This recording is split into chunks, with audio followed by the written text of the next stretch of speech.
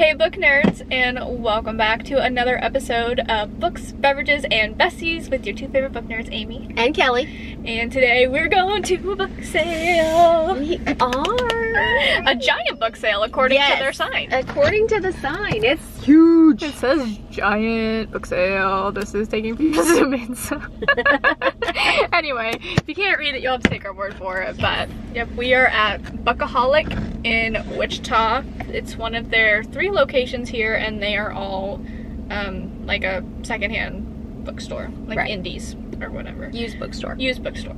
So yeah, they just celebrated their birthday. I don't remember how many years it was, but their birthday just here within the last couple months. Neither. Yeah, I read it, but I don't remember either. I should know. I was there. You were there? I was here.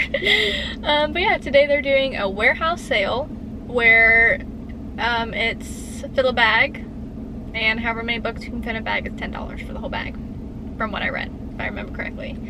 So, Yes. um, oh, she walking out with a nice big bag. She's walking out with a bag. We did question if we had to bring our own bags. Yes, and it does appear like we do not have to. We do not have to, and they are good sized bags. Yeah, and holy moly, she She got a lot of is. books She is stretching up. it too. Dude, that's gonna be us. So hopefully, I hope I can find a lot of good books. I hope so too.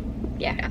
So, anyway, we're gonna get in before all of the good books are taken because they Yes. all were also doing the sale yesterday. Yesterday. So hopefully they still have a lot of good mm, the goodies shelves left. still look pretty full, so. Yeah. So, anyway, we will see you guys in there. I with the finger guns. Finger guns.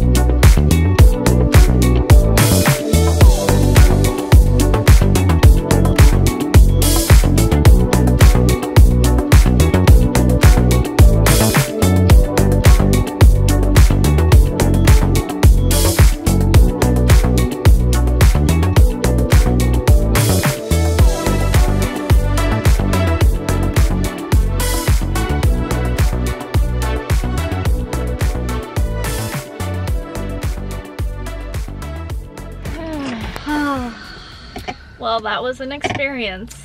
yes, yes it was. I found zero books for me, um, but I did find a whole bunch for Bobo, so that's good. That is good. I found three. I think I ended up with 3 Mhm. Well, okay, so From the warehouse. from the warehouse sale. Once we got out in the regular area, the bookstore, there was plenty more to be yeah, you can kind of see them. for there. Yeah, the stack, the stack is is mine. So, um, you want to haul them now? Yeah, why not? Okay, so here it is. This this stack here. So the the three that I got on the sale. Um, the first one is if you watched our video from last February, where we read the three romance books. Our? Our Menage a trois. We had read a classic, like an 80s, 70s, 80s era bodice ripper and a contemporary fantasy, or fantasy, romance. And the 80s one was terrible. We hated so it. So bad. So bad. Um, but I remember saying at the time that she had written, this author, Jude Deveraux, had written a book that I remember so well. It's like a little time travel story, and well, I found it. so, A Knight in Shining Armor by Jude Deveraux. It's I, all I really remember is like this woman goes back in time and falls in love with this guy, and stuff happens. So that's really all I remember about it, and I'm almost afraid to read it, but yet, I don't know. We'll see, because I remember it so fondly. That last book was so bad. I don't know. We'll see. Anyway, um, another one that I got was Margaret Atwood's Alias Grace. And so these two I have already read, um, but I just want them for my shelf, so they're not going to be added to my to my TBR shelf. Oh, by the way, I think there's a there's a series on either Netflix or Hulu, a short like limited several part movie series kind of thing. It's really good. Based on that. Um, and then I got The Red Tent by Anita Diamant. Diamant. I've just heard of this. I've it's about it's the biblical character of Dinah. Um I think I, I really don't know. I've just heard about it. I heard it's really good. I heard it's really good like women's fiction kind of thing. So I I don't know. I just heard of it. So and really I actually recognized a book in the warehouse. pickings were slim, people. Pickings were slim. Yeah, unless you were looking for a self-help book Oh or a. Bible. Yes. That's all that was back there. Yes, like any sort of nonfiction, Christian books, hmm um, self-help books, cookbooks, like DIY books. That's like all there was. So yeah, yeah, I recognized it, and it was something that I was interested in. So yeah, that was that was it. that was there. So okay, so then we went out into the the regular place, and well. So they had these, and there's a whole set of them, and they're really cool. So this one is Weird Horror Short Stories. So you see that blue? Isn't that on the spine? I have no idea. It's like imprinted in, it says Gothic Fantasy. So I'm like, oh, sign me up. That sounds cool. And then this one, which is Native American Myths and Tales which I think sounding interesting. I always like indigenous people's folklore. Pretty cool. So I got those two. And then I got this one, which is called Folklorn. And from what I can tell from the description, it is a book about a Korean woman who's kind of always tried to put distance between herself and her family and her past. And there's like this kind of paranormal folklore thing that happens and kind of brings her back home where she has to face generational trauma as well as family trauma and all kind of backed up with this folklore throughout it. So I don't know, sounded good. Never heard of it before. um, and then I got Kristen Britain's Winterlight, which is part of her Green Rider series. I think I might already have this. I'm not sure, but for five bucks, I thought, what the hell, because it's hardback and it's a chunk of a book. So If only you had put all of your books into Libib. if only I had put all my books in, if only I had yet to put all my books. Yeah, I haven't done that yet. Sure haven't, but then I would have known.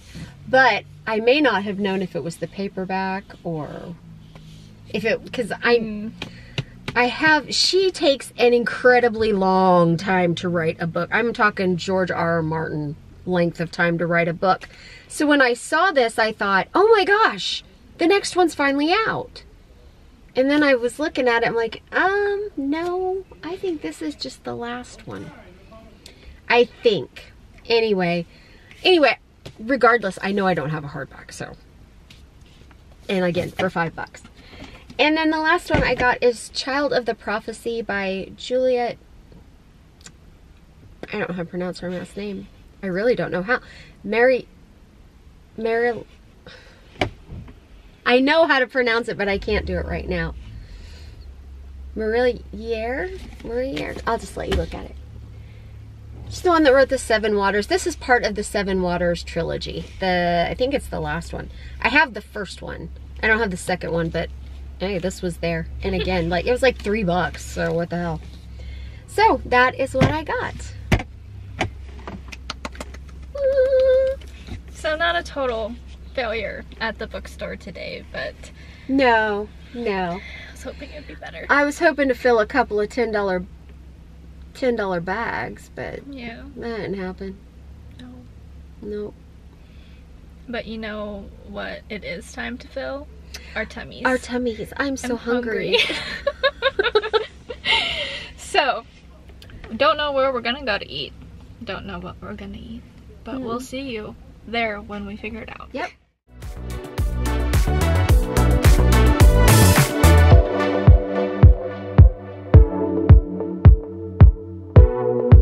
I'm gonna have fun editing that when I just see my forehead like. Alright guys, so that's gonna do it for another episode of Triple B. Um, I'm not gonna say it was a super successful day of book shopping, but the No. food, the food was super oh, successful. man. That was Oh good. my gosh. That was good. West Street Burgers. Yes. Definitely go and check them out and Wichita, Kansas. get a burger Yeah. for sure. Or the BLT. But The yeah. BLT was good. It Mhm. was. The onion rings were amazing. The French fries. Homemade French fries. Oh my gosh. Really good stuff. It's food Dean Winchester would have approved of. Yes. So that automatically makes me approve of it. Of course. Of course. But very limited seating inside. So, Yeah. You know, maybe get it to go. Yeah. They do have a drive through. So you can Yeah. do that. But Yeah. yeah. We got visitors. The Cats. kitties. The kitties. But anyway, um, hope you guys enjoyed watching. If you did, please be sure to give the video a thumbs up. And if you're not already subscribed, going down the below, going down below the video, hit that little red subscribe button and join the Everyday Adventure family so you can see our beautiful faces every Sunday with new book content. And And, you know, if you are wanting even more content from the Everyday Adventures, then go and join the channel memberships where you can get early access to all of the non-book related videos, as well as some extra channel member only videos Yes. you won't find anywhere else. So Yes. go and do that. And if you want still more, you can go check out all the other videos on Amy's channel because it's not just about the book stuff. So there is home decor, there is fashion, there is travel, and all kinds of different things. And if that's still not enough, you can go check out her blog where there are articles, some which go along with the videos on the channel and some which are completely independent, like restaurant reviews and um, what you should watch on Netflix. So check all that out and be a part of the entire Everyday Adventurers family. Yeah, do Yeah. it. do it. But anyway, like I said, hope you guys enjoyed watching the video. And I'm Amy, and I'm Kelly. and we are The Everyday Epic. See y'all in the next one. Bye.